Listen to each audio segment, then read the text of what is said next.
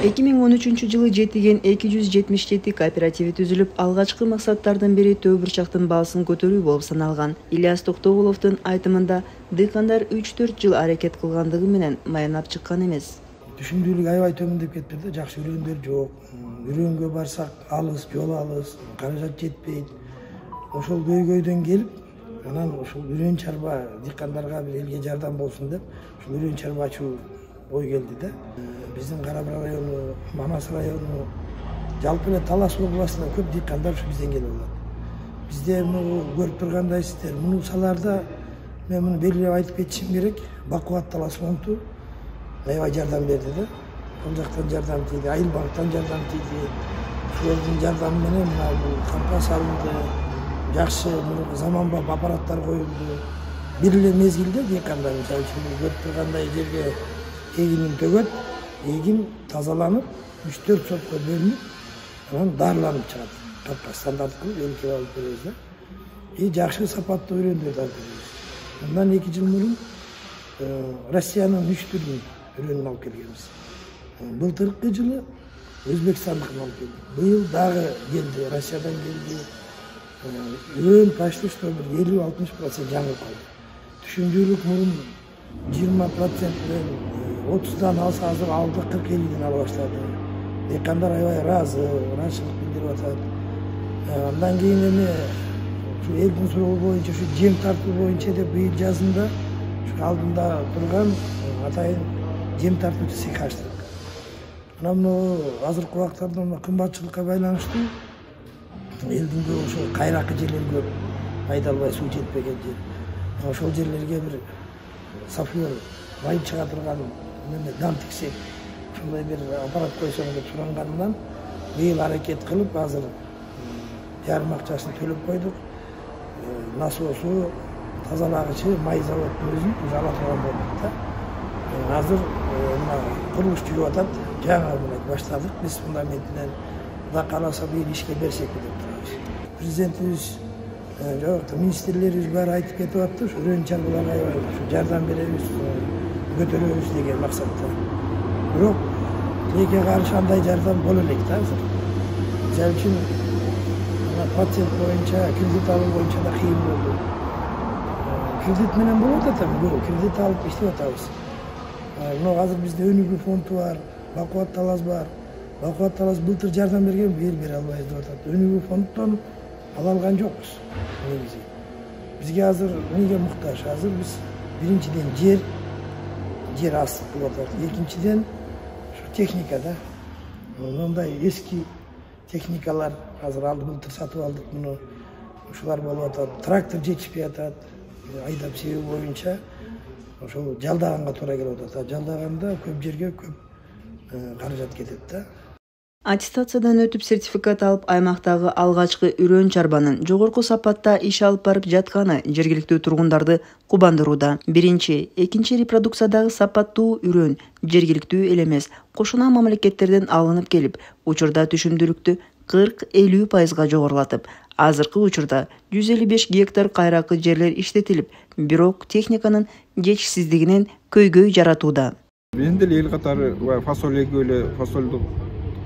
эле отура берчү элек былтыртан баштап мен да башка немеге болдум фасоль эле болбой баратканда былтыр ильястан буудай сепкем. Ушул жерден дарылатып ушул жерден неме кылгам менимче айылдын жери ачысын айтты ошолордун айтуусу боюнча меники жакшы болду кырктан айланды деди айыл боюнча жакшы түшүм алдым да. Анан быйыл бел эсептеп бедени да уруктуу ильястан алып дарыланган алып септик кудай кааласа жакшы өсүш турат анан ошол менин мисалымда ушундай немелер эки район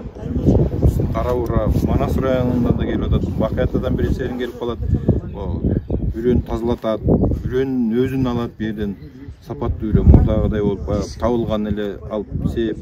айдап себе берчүбүз да азыр жок андай болбой сапатка өтүп калышты сапаттуу үрөө баардык немеден өткөн биринчи репродукция экинчи репродукция каалагандай биздики эмес кыргызстандыкы эле эмес чет өзбекстандан келип атат россиядан келип атат ошол алып келип себип атат буудайы бар арпасы бар мына жаздык арпа жаздык буудайларды быйыл мына себип атышат баары ошонун баарын элди камсыз кылып аткан ушул азык түлүк продукциясын жергиликтүү калк өзү өндүрсө жашоо бир топ жеңилдемек келечек муун мээнетке үйрөнөт аймакта кайракы жерлер көп болгондукка байланыштуу быйыл жүз гектардан ашык софлер эгилди президенттин жарлыгына ылайык жергиликтүү бийлик жана өнүктүрүү фонддору колдоо көрсөтсө софлерду кайра иштетүү ишканасы быйыл толук ишке кирет эми азыр ушуну өндүрсөк өзүбүздүн эл өндүрсө сырттан сатып албай өзүбүздөн чыгып калса жакшы да элдер ушуга кызыгып көбүрөөк айдаса анан баягы анча мынча алып келген аппараттардын баары иштебей калган азыр. Токтоп турат. Ошолордун баарын кайра иштетип эми баары эле өзүбүздөн чыгып атат өзүбүз кылбай атабыз да аракет кылган жок болуп атат. Анан ушундай менин иним. Ушул баягы аракетчи болуп атат эми элдер баары эми мындай аракетчи балдар бар эми ошол баягы жардам берип ушуларга көтөрмөлөсө иштейт. Айылда көп мисалы техниканы мисалы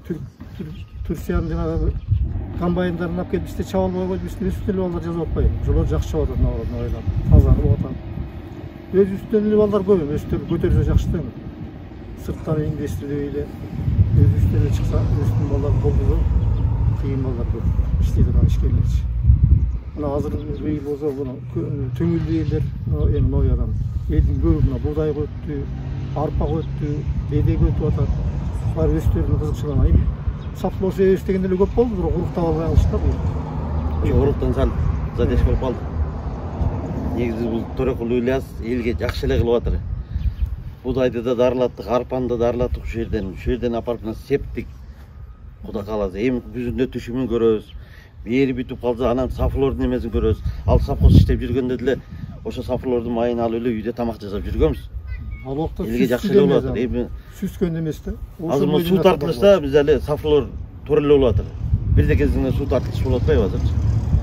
анан сафлер өзү суу деле көп төрөбөйт этпейт да булчу кайрак жерлерге айдалат кайрак жерлерге айдалат бул баягы дөңгөндө тоого деле айдап койсоң бул чыга берет да болгондо баягы чапканда техника ушулар керек да мал да жебейт таладан тикен да баары эле ошо мал да жолобойт анан эми кудай кааласа мунусу бүтүп калса элге жакшы эле неме кылып атыр жардам болуп да үрөн чарбага эң биринчи жаңы чыкканда бир он гектар жер менен чыктым эле да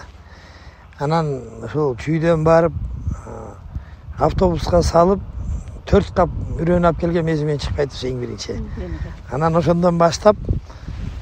кызыгуу пайда болуп мына азыркы учурда бир жүз гектар жүз элүү беш гектарга чейин эгинге жеткиздик азыр мына азыр биз турган поля могу ошол ташкентский өзбекстандан келген буудай бир суу челек мына азыр тизеге келип калды кудай буюрса муну мен ойлоп атам бир алтымыштан жөн эле берет деп. Бул алтымыш деген гектарына алты тоннадан дан берет деп отурам да. Ушундай буудайдын өзүнөн азыр бизде отуз тонна бар.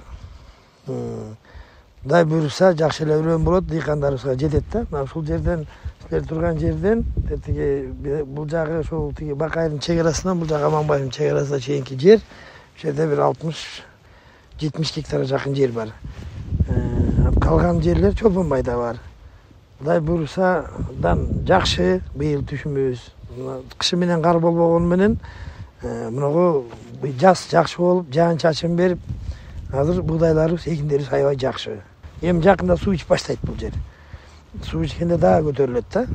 россиядан келген буудайды былтыр тартып көрдүк мына азыр элита келген буудайлар бир эки жыл үч жыл себилет үчүнчү ирет продукция болуп төртүнчүгө кеткенде биз аны уже унга чыгарабыз